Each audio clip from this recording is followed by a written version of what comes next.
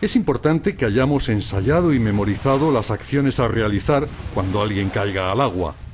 De nuestra rapidez y reflejos dependerá el éxito del rescate.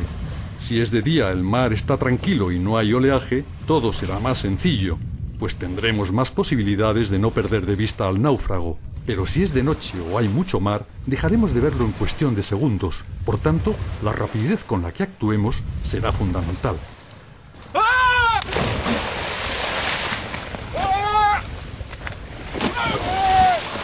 ¡Hombre al agua, por favor! ¡Señálale, señálale! ¡Va! ¡Caiga, vamos! Un tripulante permanecerá señalando continuamente al náufrago sin perderlo de ¡Mira, vista. Si el náufrago está a la vista, el timonel dará un golpe de timón de 270 grados hacia la banda por la que se ha producido la caída. Si la visibilidad fuera mala, al caer al agua, el náufrago deberá utilizar con la mayor rapidez posible el silbato, soplando fuerte e intermitentemente para llamar la atención.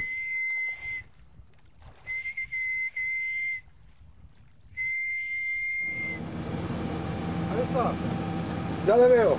¿Por el través? ¿El través? ¿Por el través? ¿Ves?